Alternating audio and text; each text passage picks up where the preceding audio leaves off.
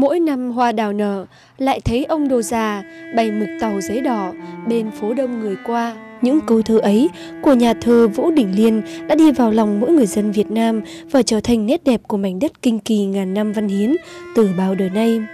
Cứ mỗi dịp xuân về, bên các con đường thơ mộng, ông Đồ lại bày mực tàu, giấy đỏ, tấp nập nộn nhịp ở nhiều con phố như tô điểm cho sắc xuân đang cận kề sắp tới.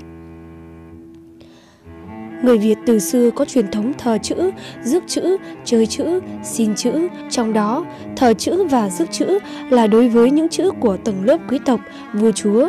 Còn dân gian thì chơi chữ và xin chữ nơi các ông đồ vào những dịp lễ Tết trong cộng đồng. Không chỉ vậy, người Việt đặc biệt nâng niu và trân trọng những chữ từ bao đời nay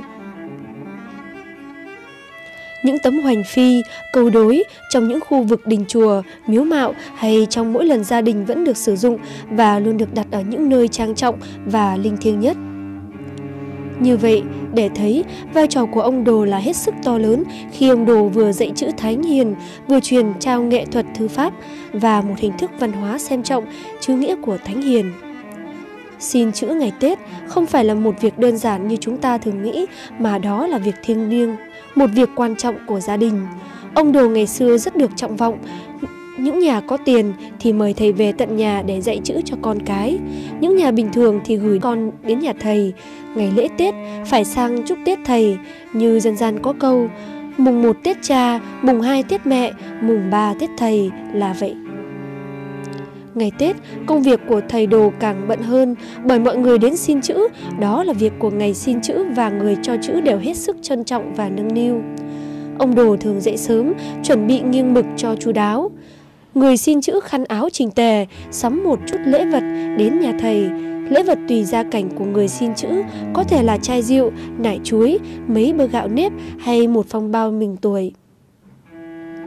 Xin chữ cũng tùy theo nguyện vọng của người xin chữ. Trong năm mới, người ta cầu mong điều gì nhất thì người ta xin. Người ta cầu tài lộc thì xin chữ tài lộc.